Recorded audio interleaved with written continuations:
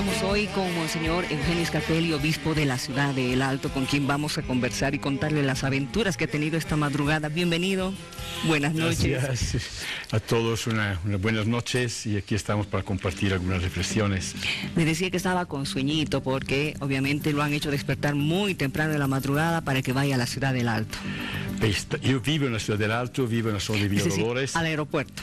Entonces, eh, sí, me, me- me llamaron a esto de las 3 menos 20 esta madrugada, si podía acercarme para favorecer un poco las cosas. Intenté llegar, pero no logré llegar porque los bloqueos no me permitieron pasar. Entonces, hablé con un grupo, después con otro grupo más, eh, intentando apagar los ánimos, pero estaban todos muy, muy caldeados.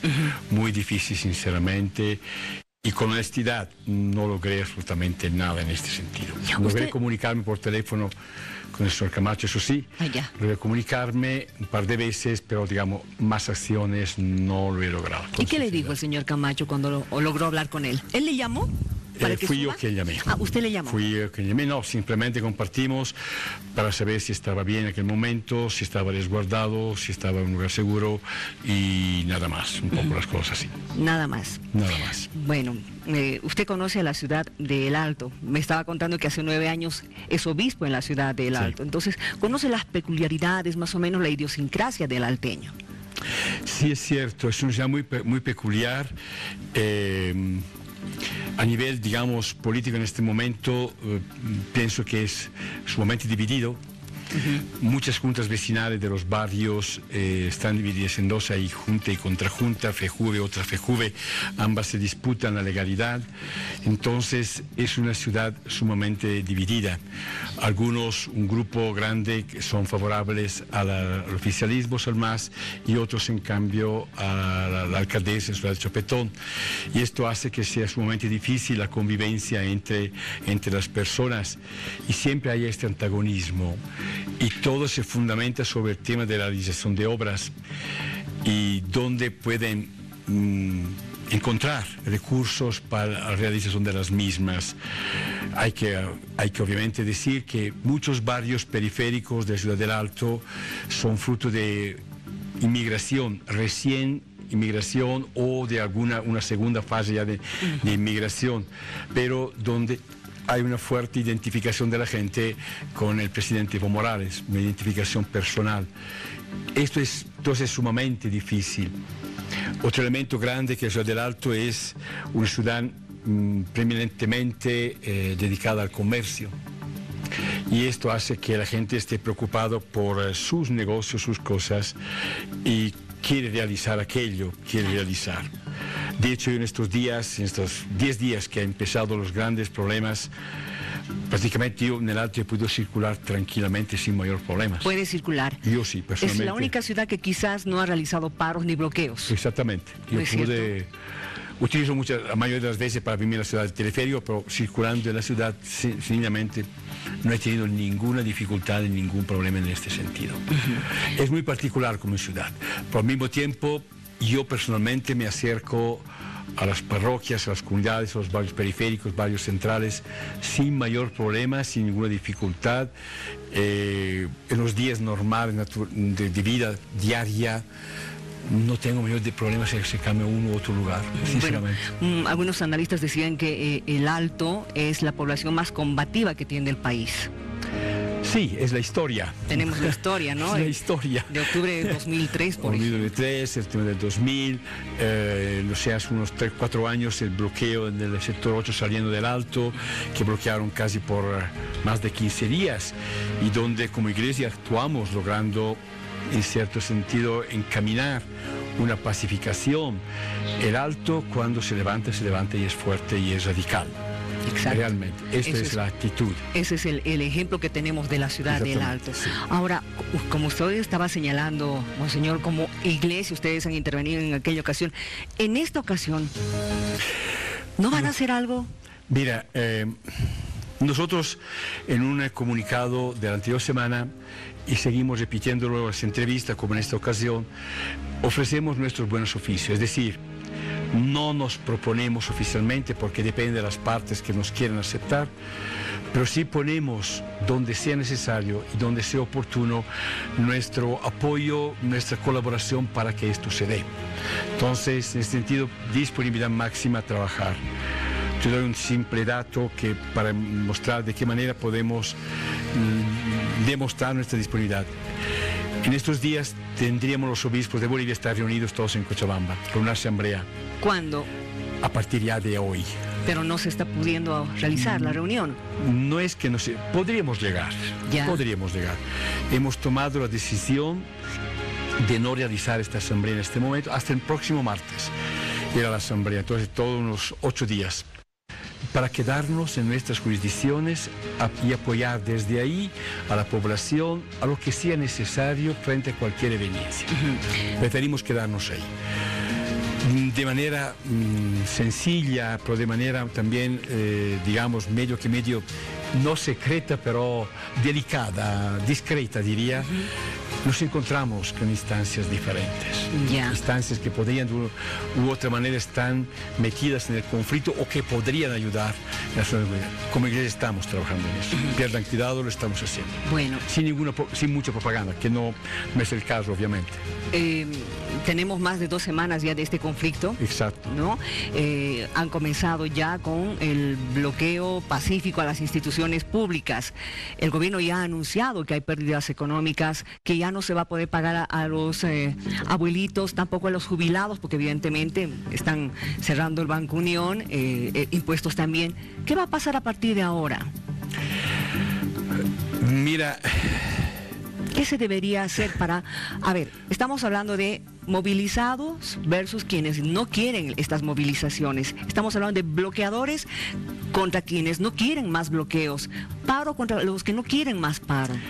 Es difícil llegar a una conclusión, porque decimos que, por un lado, el tema del, eh, del paro, de la movilización, de las marchas, es un derecho constitucional. Entonces nadie puede impedir aquello. Pero el andar también tranquilamente por las calles es otro derecho constitucional. Es otro derecho constitucional, entonces son dos derechos que se conflictúan entre sí. Lo que pedimos es que no haya violencia y que haya cierta tolerancia en las cosas. Y es lo que menos está viendo. Exactamente, este es el tema. Tolerancia para que realmente no haya imposiciones, no haya exabruptos que puedan lastimar a las personas y, eh, y dañar a las personas. Estas medidas como el no poder pagar a los abuelitos la renta de dignidad, por si acaso yo soy de edad y soy boliviano de nacionalidad, entonces me veo perjudicado en este sentido.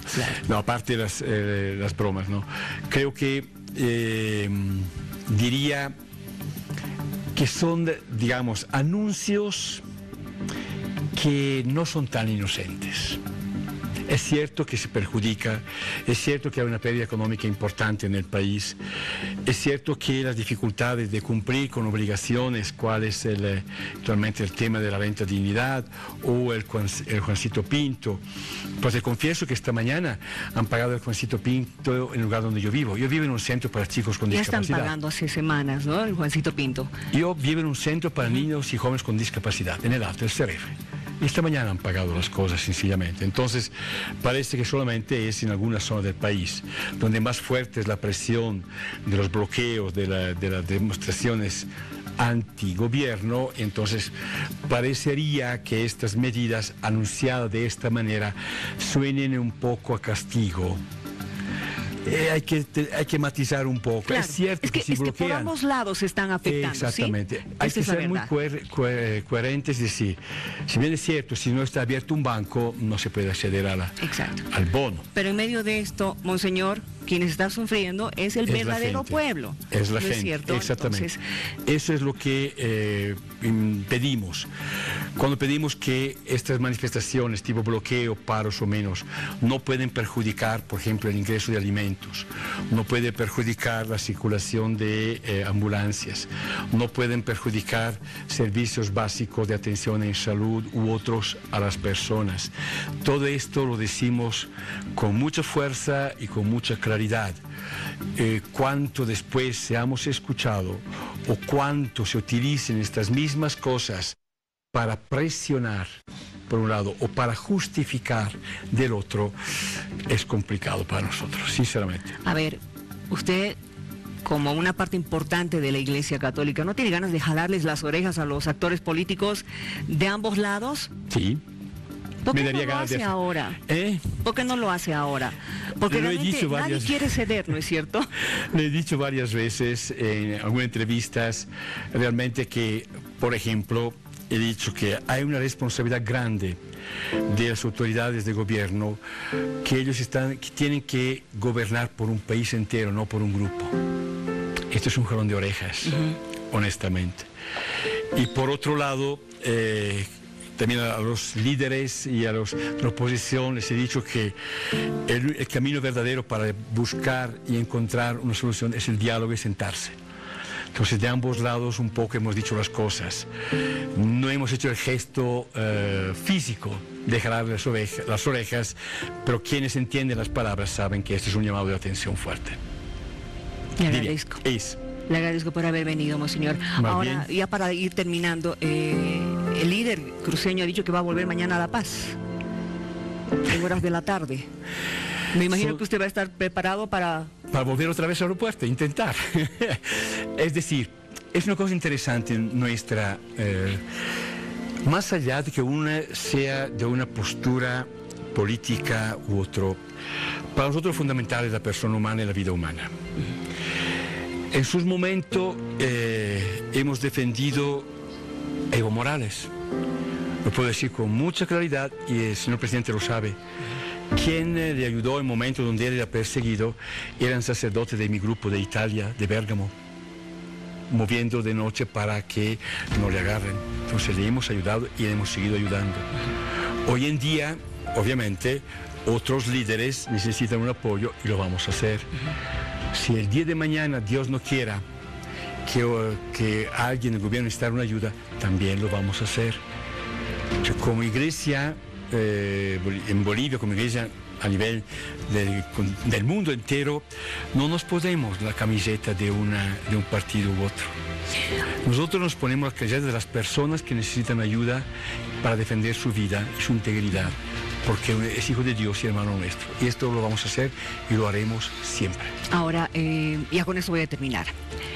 El, el hecho de que el señor Camacho esté utilizando en sus discursos a Dios eh, no ha sido bien interpretado por todos. Algunos sí, pero otros han dicho que está utilizando a Dios para, con fines políticos, ¿no? Incluso hablando acerca de frases de la Biblia, señalando que va a meter la Biblia a Palacio o a casa, a la casa grande del pueblo. Entonces, en un lado sí ha caído bien, pero en el otro lo está criticando porque dice que está utilizando a Dios para sus fines personales. Sí, la lectura, la interpretación puede ser eh, diga, posible de ambos lados. Nosotros como iglesia, en cambio, lo que hemos eh, pedido, que todas las que desde las parroquias, grupos, movimientos, sí sigamos en oración. Y lo estamos haciendo. Te doy un ejemplo muy sencillo. En la Iglesia del Alto hemos, creado, hemos promovido una cadena de oración. Cada parroquia tiene asignado una media hora al día donde las personas en su familia, en su hogar, en el colegio, en el trabajo, pueden dedicar una media hora rezando para la pacificación del país. Exacto. Y para que toque a todos, todos Exactamente. los corazones. Nosotros la no es que utilizamos, nosotros nos acercamos a Dios porque sabemos que de una u otra manera Dios puede tocar el corazón de las personas y apaciguar. Y esto motivamos y esto vamos. Después las personas pueden utilizar de manera sincera o no sincera, utilizar para fines propios, políticos o no políticos, a Dios en su corazón ellos lo saben. Yo no me atrevo a juzgar. Gracias por haber venido. A vos Gracias, monseñor. y que sigamos y ojalá en los deseos que podamos encontrar caminos de pacificación de verdad en nuestro país. Amén. Gracias.